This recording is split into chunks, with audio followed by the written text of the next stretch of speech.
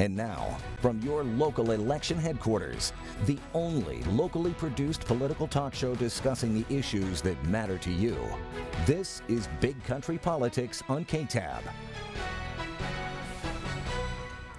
Thanks for being here. I'm Victor Sotelo. First on Big Country Politics, we have an update to the downtown hotel. Questions remain after county commissioners rejected a request last week from the city to help fund the project. Our Kelsey Pittman, ha Pittman has how they're trying to keep the proposed hotel alive. What could have been a bump in the road for the project? I don't think their lack of participation kills the project. But the city says it was prepared. It does make it more difficult, but uh, We've been working for that scenario in case it happened, and I think we have a plan to move forward. On Tuesday, the county saying the local hotels and other entities they spoke to are against the project.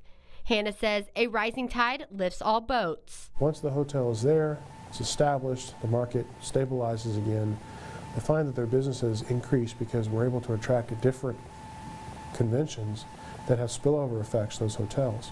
Right now, we're limited in the conventions we can attract. The hotel expecting to create over 200 jobs and around 125 long term, and serving as an anchor downtown with more venue space, along with an economic boom. The private sector says, look, I've got 200 people here spending the night. What can I do to take advantage of that? And make a buck. While the city manager is not commenting on any specific financial information, I'm not going to answer that question. However, the mayor going on record at a November commissioners court meeting saying the hotel is estimated to cost $60 million and they have $25 million raised. The city is still confident in the project with the backing of the private sector. Where we can shave off enough of the risk to make it uh, prudent and appropriate for the private sector to, to invest their money in these projects um, that's what we want to try to do. For Big Country Politics, I'm Kelsey Pittman.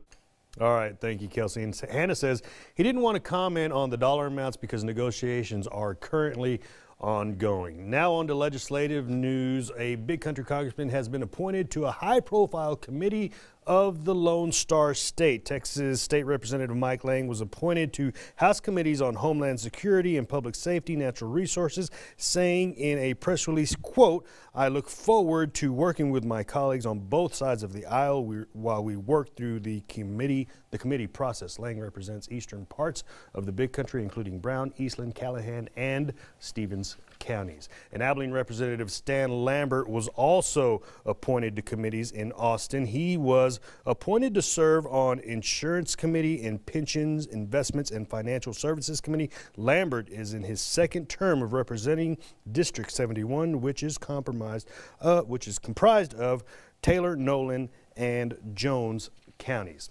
All right, still to come on Big Country Politics, we're talking street maintenance here in Abilene. And that's a hot topic. We'll be back in two minutes.